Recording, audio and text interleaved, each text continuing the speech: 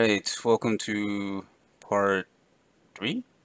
Part 3 of our React newsletter tutorial series.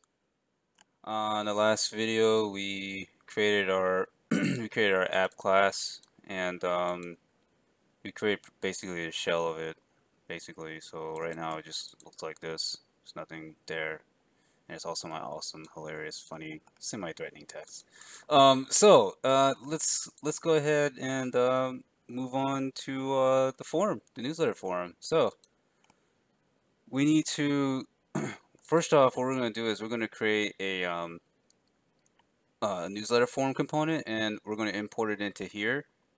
And we're going to put it I guess underneath of my super awesome semi-threatening text. Okay uh so let's uh let's go ahead and uh, import that guy okay?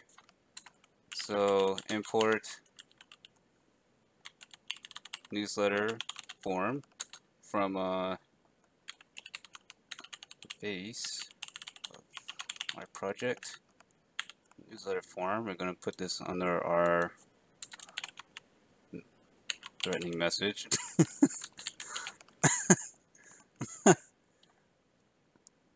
and I'm sorry, I forgot to put from. Alright. um, so, um, in a little bit, we're going to be passing in um, component props um, from this app class, they're going to be passing to here. So we're going to be passing in like um, a function that will handle the click event on the button and the on change event on the input box and the actual email that's being typed into the box. So we'll be passing in those props that'll be fed in from the parent, in this case the app contain or component. Okay. Excuse me. So let's go ahead and move on into newsletter form. Um, Uh, this is going to be a um, a, uh, presentational component. Um, so there's there's two types of components in React. There's um, there's smart containers, smart components, whatever you want to call them, um, stateful components, and then there's also um, dummy components, dumb components, stateless components, um, presentational components, which is what I typically a term I use. Um, so a, uh, a smart container um, or a smart component is basically a component that handles state. Um, and a presentational component is a component that literally just spits out your your presentation. In this case, we're using JSX. So it's just going to spit out some JSX. In this case, our newsletter form is simply going to spit out the uh, the HTML for the form. Excuse me. So let's go ahead and get started here. Let's go ahead and um, let's go ahead and handle this this presentational component. So we're going to go ahead and import React like you always do.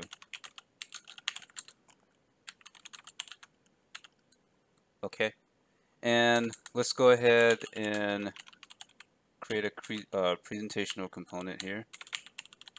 This is one way of doing it. You can also create um, uh, you can create a class. Uh, create class. I mean, there's you can you can create presentational components in you know a couple ways.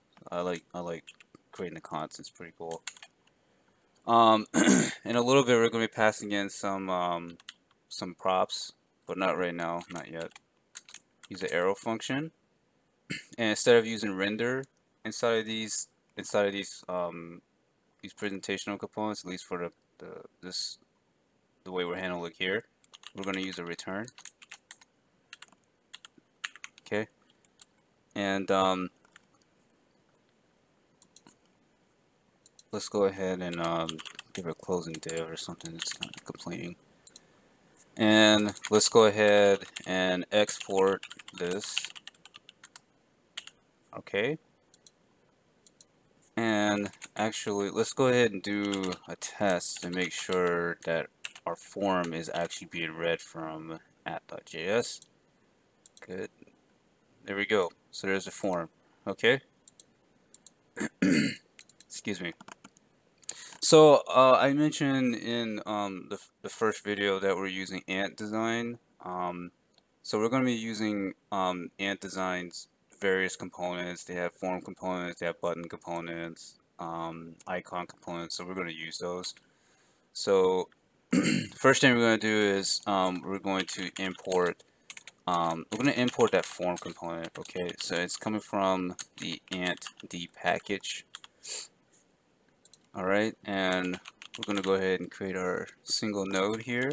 So form. There's also a um, a prop on the form component called layout so we want it to be inline um, there's documentation out there for it and again you don't have to use ant design. You can use whatever you want. I tend to use semantic UI um, you know that's just me um, we have a class name. Uh, class name of uh, newsletter form. The action right now is uh, we're just we're just gonna set it to a um, JavaScript void function for right now. And a method of post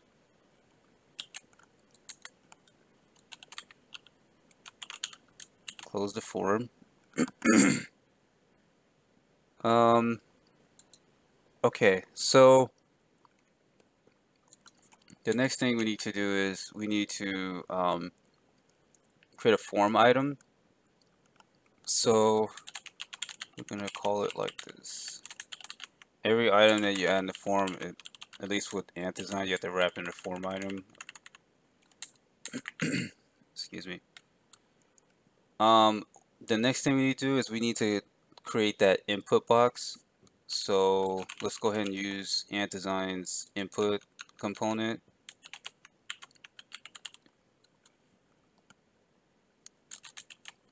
Alright, and the next thing we're to do is we're going to attach a, a prefix or a, um, it's basically putting a, um, an icon, um, um, in front of the, um, in front of the, the text inside of the input box. I'll show you. And we also need a, um, and by the way, we're also using the icons from Ant Design as well. It's just an icon component. They have their own set of icons. I use this one. They don't have a whole lot of icons from what I've seen. Um, yeah. Alright, so let's go ahead and add a placeholder.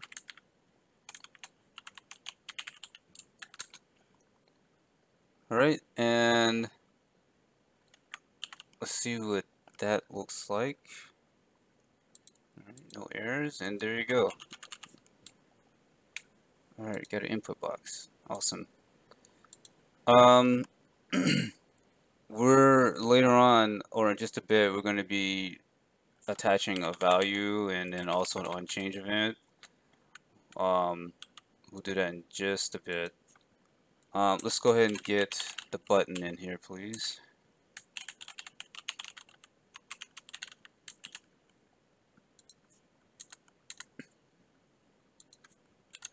and we're going to use the button component jeez uh, button component from ant design and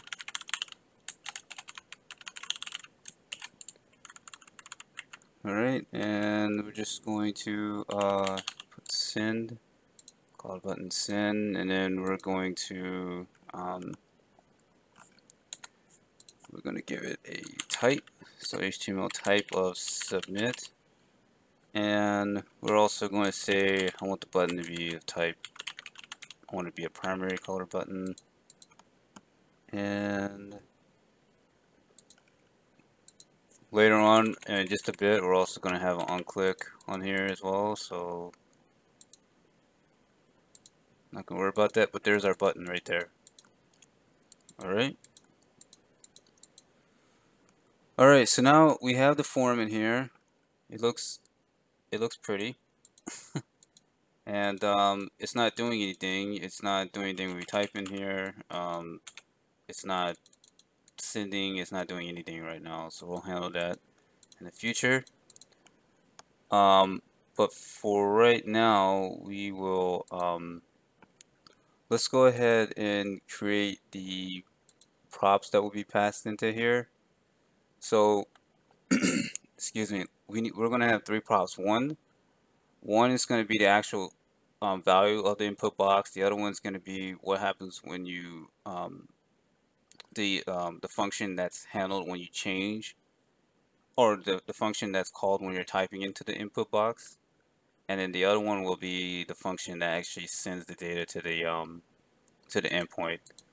Um, so let's go ahead and um, come back to our app class and we're going to go ahead and initialize the state here and we're going to use the components constructor. The constructor is the first method that's called when you call a class. So I'm going to have constructor, passing the props, call super, passing the props into there. Alright, and then we're also going to call this dot state and we're going to initialize the email for right now. Alright, and this is going to be what's set to the API later on. Right? So we now have an email set on the state and actually if you go back to here and if you have the little React, the React Chrome extension, extension uh, it's very useful seeing what's going on in your state. You can see email is already declared right here all right? So we're going to pass this email right now um, into the uh, component newsletter form all right and we're going to call it prop email and we're passing in what this dot state dot email that's how you grab the value of the state inside of a class and we're going to pass it into this newsletter form okay, we need to go back to newsletter form. It's expecting that email. So we need to pass in the email. And what are we're going to do, we're going to set the value. This is going to be a controlled component. So we're going to set the value to that email. Alright. So now that's done. It's not doing it's not doing anything yet. It's not changing. We can't change anything yet. So let's go ahead and take care of that.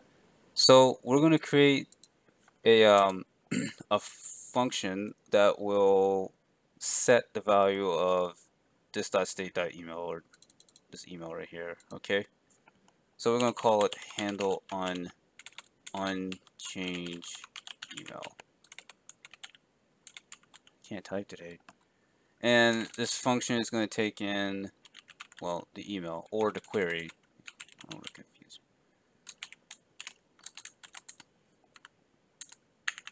Alright, and we're going to call this dot set state. This is how you set the component state in React. And we want to set that email to the query or I think on on on GitHub I have it called email. Call it email. Just don't mix the two up. Alright. This is our key and this is the value. Alright. So, what's next? Well, if you sit there and you still you try to type into here right now, it's not doing anything. Like, it's not doing anything. Why? The reason why it's not doing anything is because you did not pass that function, that onChange event, into the newsletter component. And the reason why you can't type in here is because we're passing in this.state.email, which is a blank string, and you're not able to type in here right? So it's always set to a blank string, so you can never type into here. So let's go ahead and fix that, okay? Handle on change email needs to be passed into here, into the newsletter form. And it's this dot handle on change email. We're going to come in here, pass that right there in the props. And put this guy on new line and what we're going to do is we're going to call the onChange event. Alright. We're going to destructure the event. I just want the target. You could go event.target.value. I'm not going to do that. Um, arrow function. Handle on change email. And this is going to be target.value. Alright. I should also note with these props here, you should be doing a prop types check. Um, my linter is off. I didn't activate it for this project, although you should always do that. Um, so make sure you're validating your prop types um, with uh, any props that you're passing into here. I'm not going to go any type of detail right here. Um, this is not a production very uh, ready project or anything. It's just a little fun project. But you always want to validate your prop types always. Um, and depending on what version of React you're using, uh, you're using, I think it's 15.5 and above, it's React, the prop types is no longer attached to React. The React core project is now in a separate package so called prop types. If you're using anything less than 15.5, I believe, um, then you're going to be using React.prop types. Um, so yeah, just make sure you're, you're um, using prop types. Um, so yeah, so now that's in there, so it should it should be working now, and there you go. Now you see it's collecting here in the state. Excellent. All right, and the last thing we're going to do in this video, um, we are just going to create the shell of our handle or of our um, our um, the click event that's attached to the button.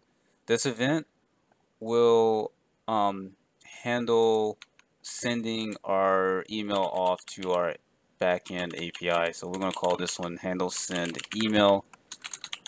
And we'll call email that we're passing in. And we're not gonna we're not gonna do anything right now. I guess I'll just console log it for right now because this is um it's outside the scope of this video. We'll handle send email. And we're also gonna pass this one in. So this dot handle send email. And remember it's expecting this prop here. So handle send email. And then on the button, what you want to do is you want to do an on click, attach an on click event, arrow function, and you want to pass pass in that email. All right.